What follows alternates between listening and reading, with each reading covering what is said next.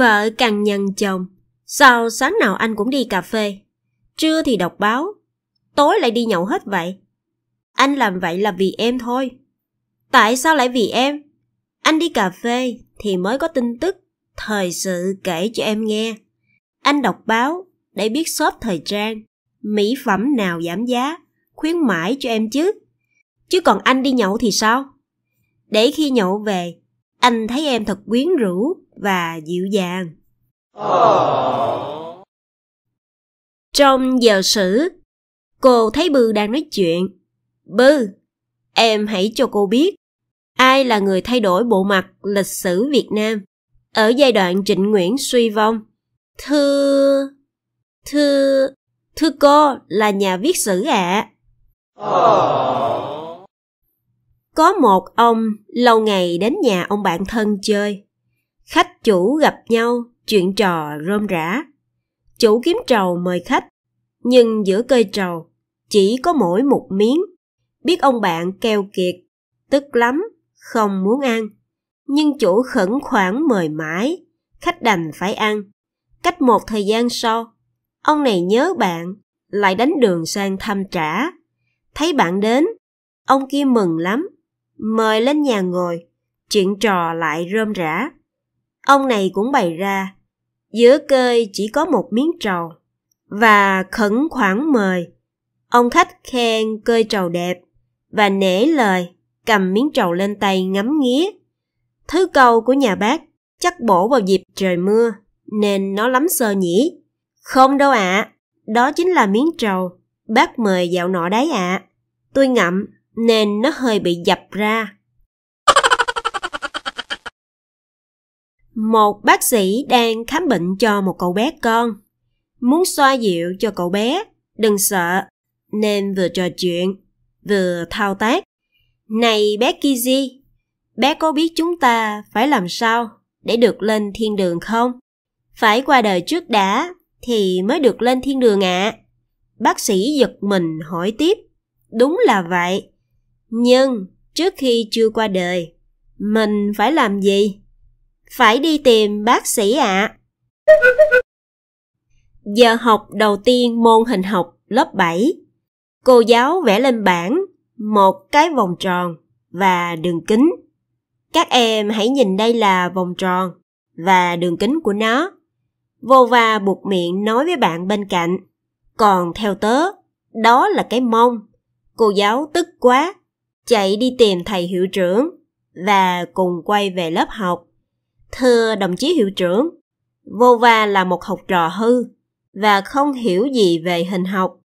Thầy hiệu trưởng nhìn lên bảng, hỗn láo, hỗn láo quá. Thấy ai đã vẽ cái mông lên bảng thế này?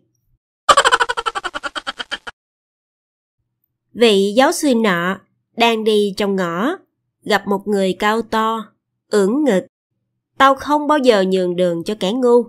Vị giáo sư mỉm cười, nép vào bậc thềm. Còn tôi thì luôn làm như vậy. Người khách ngồi ghế sau taxi, vỗ vai tài xế, định hỏi vài câu.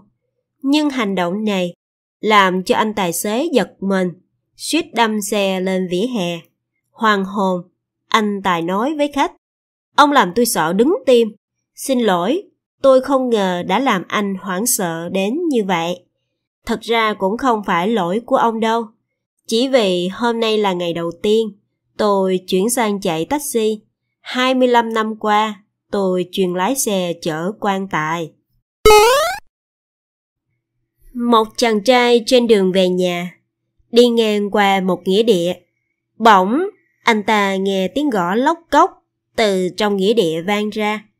Anh ta hốt hoảng, tưởng là ma, nhìn vào nghĩa địa, anh ta mới thấy một ông già đang đục khoét cái gì đó trên một mộ bia. Anh bảo, lạy chúa, ông làm tôi tưởng là ma chứ. Ông đang làm gì ở đây vậy? Ông già trả lời, khỉ thật, đứa nào nó khắc sai tên tao.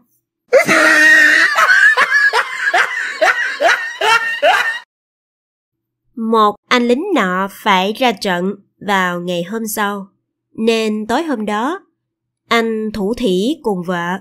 Em à, ngày mai anh đi rồi, gắn chiều anh một đêm nhé. Khi làm chuyện người lớn xong, anh thầm nghĩ, mình đi ra trận không biết bao lâu mới về, mà vợ lại xinh đẹp, trẻ trung, nên đâm ra lo lắng. Anh bèn vẽ một người lính, đứng vác súng trên đùi vợ cho yên tâm. Anh đi chẳng bao lâu, thì người vợ trẻ không chịu được cảnh buồn tẻ vì thiếu chồng, nên rước tình nhân về nhà. Anh tình nhân làm xong chuyện lớn, xóa đi người lính canh súng và vẽ lại một người lính khác cũng đứng vác súng. Ngày anh chồng trở về, hí ha hí hửng gặp lại vợ mình. Tối đó, anh xem lại, rồi quay sang hỏi vợ. Em à, người lính lúc trước, anh vẽ đứng vác súng tay phải mà. Sao bây giờ vác súng bên tay trái nhỉ? Cô vợ lúng túng trả lời. Thì vác tay phải mỏi quá, phải đổi sang tay trái chứ sao? Cái đó gọi là đổi gác, anh ạ. À. Hai phóng viên thuê chung một phòng đôi ở tầng 99 của khách sạn. Mới lãnh nhuận bút, họ rủ nhau xuống quầy bar ở tầng hầm làm vài ly whisky. Thật không may, hai người đang trở lên phòng thì lại bị cúp điện. Thang máy không sử dụng được, đành phải leo cầu thang. Họ vừa đi, vừa kể cho nhau nghe những nỗi cực nhọc, đau khổ nhất trên thế gian. Ngõ hầu rút ngắn quãng đường, lên tới tầng 98, một người phiều vào tớ sẽ kể cho cậu nghe một câu chuyện mới tin, đau hơn nhiều so với tất cả các chuyện chúng mình đã biết. Đã mệt hết hơi rồi, còn rào đón. Tớ quên chìa khóa nhà ở dưới quầy ba rồi. Chàng trai hỏi cô gái, bố em là đầu bếp à? Không ạ, à, mẹ em là đầu bếp à? Dạ cũng không ạ. À. Sao thế hả anh? Thế sao làm ra em ngon thế? Thấy em tên là Google à? Dĩ nhiên là không. Sao anh hỏi kỳ thế? Ờ, thì anh thấy ở em có tất cả những gì anh đang tìm kiếm. Thấy em có phải là nhà ảo thuật không? Dạ không. Anh lại định nói gì nữa đây? Không, chỉ là mỗi khi anh nhìn em, mọi thứ xung quanh lại biến mất. Ờ. Ông chủ nhà hỏi đứa ở, mày có tin ma quỷ không? Thưa không. Tại sao từng rồi, mày xin phép về chôn ông già vợ mày, mà sáng nay ổng lại đến tìm mày là sao? Y tá chuẩn bị tiêm thuốc. Chợt bệnh nhân kêu toán lên. Á á á, đau quá. Ông này hay nhỉ? Tôi đã tiêm đâu, mà ông kêu ầm lên thế. Chân, chân, gót giày của cô, đâm thủng chân tôi rồi.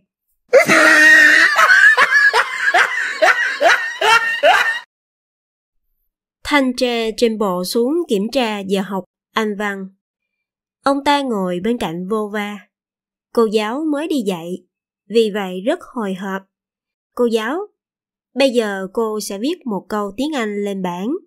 Còn các em hãy cố gắng dịch nó ra tiếng Nga. Cô giáo đang viết dở câu, thì viên phấn bị rơi. Cô cúi xuống, nhặt và tiếp tục viết cho hết câu. Vova lập tức giơ tay. Cô giáo thì rất run, nhìn quanh lớp, nhưng ngoài Vova ra, thì chẳng có ai giơ tay cả. Cô đành chỉ định Vova phát biểu. Vova phát biểu như sau. Giá như mà, cái váy nó ngắn hơn... Cái gì? Em biến ngay khỏi lớp học. Vô va thu gom sách vở xong. Dưới dưới nắm đấm vào mặt ông thanh tra. Đồ ngu, đã không biết thì đừng có bày trò nhắc bài. Có hai bố con nhà này, từ quê ra thăm một khu phố buôn bán. Dường như tất cả những gì họ trông thấy đều khiến họ thích thú và ngạc nhiên. Đặc biệt là hai tấm vách bằng sắt sáng lóa, có thể tách rời nhau rồi lại khép khít như cũ. Cậu con trai nhìn thấy thế và hỏi đó là cái gì hả bố? Người bố chưa từng thấy thang máy bao giờ, nên trả lời. Con trai, bố chưa từng nhìn thấy cái gì như vậy trong đời. Bố không biết nó là cái gì. Trong khi cả hai bố con đều đang trợn mắt nhìn, một bà lão run rẩy, chống gậy, bước chậm chậm tới chỗ hai tấm vách chuyển động và ấn vào một cái nút. Hai tấm vách mở ra. Bà lão đi qua hai cánh cửa, bước vào một căn phòng nhỏ. Hai tấm vách khép lại. Cậu bé và bố thấy những vòng tròn nhỏ với những con số phía trên tấm vách sáng lên. Họ tiếp tục thấy những vòng tròn nhỏ với những con số sáng lên, nhưng theo chiều ngược lại. Hai tấm vách mở ra và một cô gái tóc vàng xinh đẹp bước ra. Ông bố vội nói với cậu con trai, mau về nhà, mang mẹ mày tới đây, nhanh lên.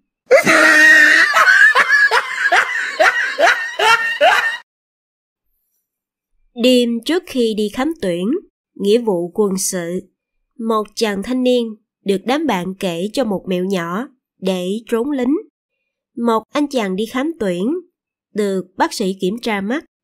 Bác sĩ chỉ vào cái bàn và hỏi, chữ gì đây? Anh kia ngơ ngác, chữ nào cơ? Ở dòng này. Dòng nào cơ? Đây, ở trên bàn. Thấy cái bàn nào? Và anh chàng được tuyên bố là không thích hợp với công việc. Rất đúng ý anh ta. Nghe vậy, anh chàng sắp sửa tổng quân quyết định sẽ lặp lại trò ma giáo đó với bác sĩ khám bệnh.